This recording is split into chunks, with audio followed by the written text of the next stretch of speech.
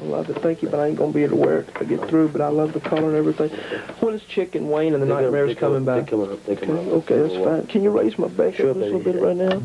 Oh God, not so, not so fast, please, please. The foot, the foot. That's a foot button. The foot button. The foot, the What foot you want to button. erase? The foot of the head. Oh, the foot. Look, Kevin, my leg is broke. You're killing me. You're, you are absolutely killing me right now. I'm telling you. Okay, okay, okay. Please, just stop. Just stop, please. Okay, I'm. I'm sorry. I'm snappy. I'm sorry. Please, please. Hey, They can't. uh, uh, the camera's not looking at my no, gown, is it? no. Come on, put down here. First of all, you told them we don't anybody know where we are, right? Everybody- They understood. I- I- I- Hey, before we go any further, you know, no one's supposed to know where we are, right? Correct? All right. Okay, if you raise it down one more time, but Please. do the right, the button on the right. Down or up? Yeah, Okay. Okay. ready? Yeah, uh, wait a second. Wait a second. Wait just a minute. Who is? Get. Oh, just- where- geez, where's my glasses? They're My over there, glasses. Jimmy. Am Let me get rid of them? I this. sitting on No, they're over there in the thing. We'll get rid of this for you. Okay. I'll get these my- out of your way, okay? my hair. Here I looks don't want those stupid letters anyhow. Okay, okay, okay. okay. Wait a minute. Wait a minute. Here's my here. I'll, I'll move. I'll move my present. Okay. All right. Everybody wants to know the condition of Jimmy Hart and the condition of the first family. Well, let me tell you something right now. Don't you worry about Jimmy Hart's condition or the first family's condition.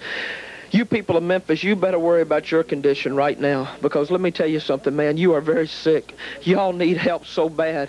I need to try to bring in about 50 psychiatrists to help you out because, buddy, you are in trouble. I've lived in Memphis all of my life, and I've never seen the worst taste of sportsmanlike conduct in my life from you people out there. I climbed in the ring, a Christian athlete all of my life, Memphis born and Memphis bred, an athlete, high school athlete. I have done everything for Memphis, Tennessee to put it on the map that I could possibly do. Cut million seller records, everything. Climbed to the top of the ladder in professional wrestling and brought you in the best talent that has ever been in this territory. And I crawled in that ring Monday night with Jerry Lawler. And he used a chain on me and he used salt on me. He used everything humanly imaginable. And you people were laughing and cheering. When he came off that top rope, which is illegal, you people went crazy. If he'd have had a gun, let me tell you something. If he'd have had a gun and blown my head off, these people would have gone crazy, Jimmy, if Kevin. he had an axe and said, let me cut off his head, they would have said yes. You know why? Because it's like I've told you before. All these Southerners, it isn't just Memphis, it's all the Southerners are sick, Jimmy. This is what's wrong with society today. They are sick. This is a real sick society. You could see it on their faces. There's faces that looked exactly like Keirn's face, looked like Lawler's face. They're all sick. And Jimmy, as you know, the only thing sane in this world today is the family. We're the only guiding light left. We're the only thing sane. You look at the rest of society. Like you said, they were yelling at you everything, Jimmy, and that was your hometown. Can you imagine how it is for outsiders? They're just sick. But don't worry, the family will be taken care of. You're still the brains. We all know that. And tell those people what the condition of the family will continue. There I love you. I love you, baby. Let me just say something right now, Jerry Lawler. I hate you, brother.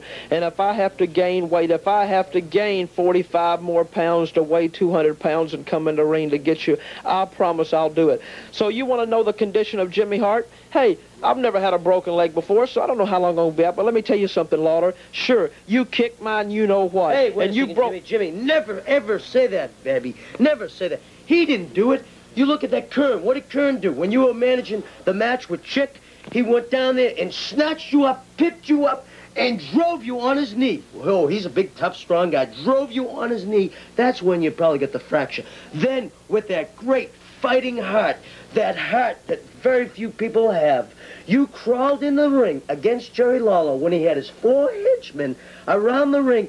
And if they want to play back the tape, they can see all five of them punching and kicking at that leg, which was probably fractured at the time.